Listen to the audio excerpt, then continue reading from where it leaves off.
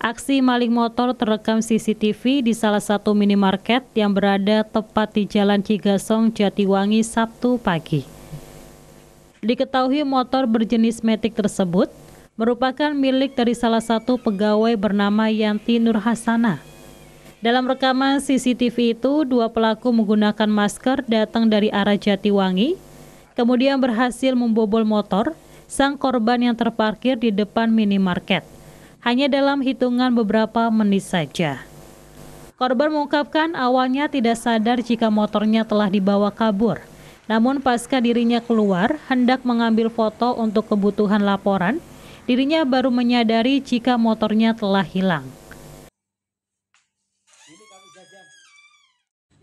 sadar-sadar itu pas saya keluarin tadinya kan mau diambil sepatu dulu di sepatu terus pas keluar mau buka toko dokumentasi motor udah gak ada pas ngeliat ke sebelah sana itu. Ya baru buka. Sendirian ya? posisi berdua sih tapi yang satunya lagi ganti baju kebetulan nginap di sini itu sekitar jam berapa? Tuh? sekitar jam setengah tujuan. Kejadian pelakunya? Iya. Dari arah Jatiwangi langsung ke di sini ke apa lalu membuka kunci secara paksa kita berapa itu terjadi berapa detik itu? Mungkin semenitan kali ya. Tiga menit dilihat di CCTV ya.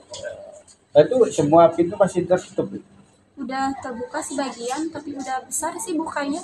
Itu udah lapor ke kapolsek setempat. Udah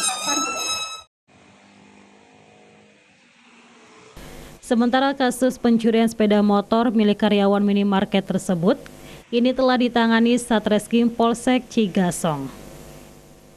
Cili Ortega, RCTV, Majalengka.